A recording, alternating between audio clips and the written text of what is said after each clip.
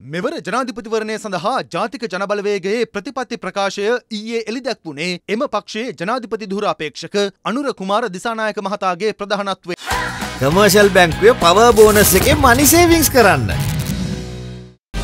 ඔබට මගහැරෙන පෝෂණය වෙනුවෙන් ඉන්ට්‍රසෝල් ජාත්‍යන්තර මූල්‍ය අරමුදල සමග නැවත සාකච්ඡා කරන බවට එම ප්‍රතිපත්ති ප්‍රකාශයේ ඇතුළත් වූ අතර ඒ සම්බන්ධයෙන් සමගි ජනබලවේගේ පාර්ලිමේන්තු මන්ත්‍රී ආචාර්ය හර්ෂද සිල්වා මහතා සිය එක්ස් ගිනුමේ සටහනක් තබා තිබුණා. එමගින් මන්ත්‍රීවරයා ප්‍රශ්න කර ඇත්තේ ජාතික ජනබලවේගය විසින් සත්‍ය වශයෙන්ම එම කොටස ලියා ඇද්ද යන්නයි. ජාතික ජනබලවේගය විසින්ම පිළියල කරන විකල්ප ණය තිරසර කරන විශ්ලේෂණයක් මත ජාත්‍යන්තර මූල්‍ය අරමුදලේ ගිවිසුම සම්බන්ධයෙන් යළි සාකච්ඡා කරන්නේ නම් ශ්‍රී ලංකාව සහ ජාත්‍යන්තර මූල්‍ය අරමුදල අතර දැනට ක්‍රියාත්මක විස්තීරණ ණය පහසුකම ඉදිරියට ගෙන යන්නේ කෙසේ දැයි මන්ත්‍රීවරයා එමගින් ප්‍රශ්න කරනවා. ණය තිරසර කරන විශ්ලේෂණය යනු සියලුම මූල්‍ය ඉලක්කවල පදනම මෙන්ම ණය ප්‍රතිව්‍යුහගත කරන්නේ පදනම බවද මන්ත්‍රීවරයා පවසනවා. ඒ අනුව බැලූ විට පෙනී යන්නේ ජාතික ජනබලවේගයට ඡන්දය ප්‍රකාශ කිරීම යනු ජාත්‍යන්තර මූල්‍ය අරමුදල සමග ගිවිසුම අවසන් කිරීම බවයි. මේ අතර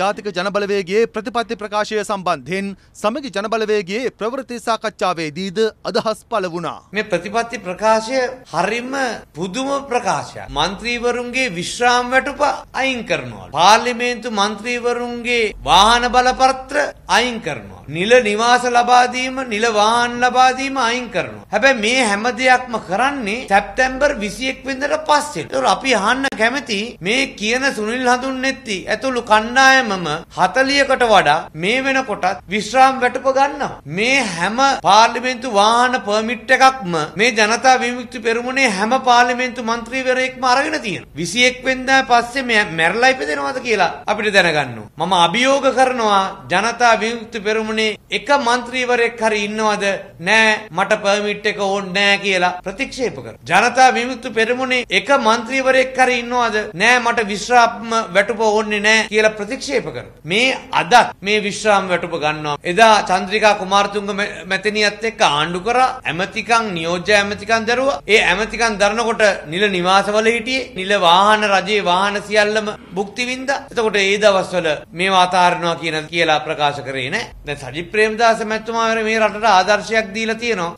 සූරු පාන්ති කාමර පාසල් 400කට ලබා දීලා, බස් රථ පාසල් 80කට ලබා දීලා, රුපියල් මිලියන 900කට වඩා මුදල් ප්‍රමාණයක් වැය කරලා හුස්ම වැඩසටහන යටතේ රෝහල් උපකරණ ලබා දීලා තියෙනවා. මේවත් එහෙනම් කියන්න තිබ්බනේ මම ජනාධිපති වුණාට පස්සේ කරන්නම් කියලා. එහෙම නැහැ. එතුමා සැබෑවට සිස්ටම් එක චේන්ජ් කරලා එතුමාට පුළුවන් වෙලා තියෙනවා ඒ කටයුත්ත කරන්න. මටත් ආපු මෙසේජ් එකක් අපි බලයට ආවොත් අපි දැන් අවුරුදු 20කින් පාසල් උගන්වපු නැති ගුරුවරයෙක් ධම්මලා උද්ඝෝෂණ ගුරුවර්ජන කරනවා හැබැයි අපි බලයට આવොත් නිදහස් අධ්‍යාපනය හා සම ප්‍රවේශ තහවුරු කරනවා 13 වෙනි පිටුවේ. අපි දැන් කිසිම හිරිකැතයක් නැතුව දාරපචු අමු ගජබින්න කෙලිනවා. ඒ වෙනුවෙන් පත්තරයකුත් ගහනවා. හැබැයි අපි බලයට આવොත් ජනතාව ජනතාවට සත්‍ය හා නිවැරදි තොරතුරු දැනගැනීමේ අයිතිය තහවුරු කරනවා. අපි දැන් තරුණ ප්‍රජාව යොදාගන්නේ උද්ඝෝෂණය කරන්න, පෝස්ටර් ගහන්න, කැට හොල්ලන්න, ගෙවල් ගිනි තියන්න වගේ දේවල් වලට විතරයි. හැබැයි අපි බලයට ආවොත් තරුණ ප්‍රජාව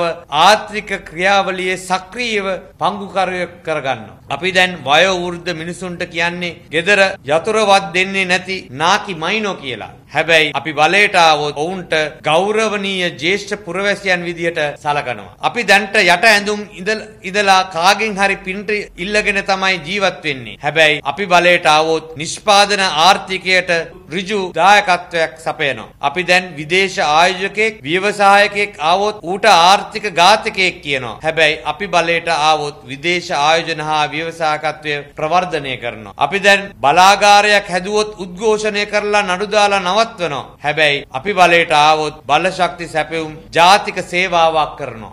අපි දැන් පාර්ලිමේන්තු සැසිවාරයට පැමිණීමේ දීමනාව ගන්නවා. හැබැයි අපි බලයට ආවොත් ගන්නෙ නෑ. ඉතින් මෙන්න මේව තමයි විහිළු. 29 වෙනිදා අපි අපේ ප්‍රතිපත්ති ප්‍රකාශය එළි දක්වනවා.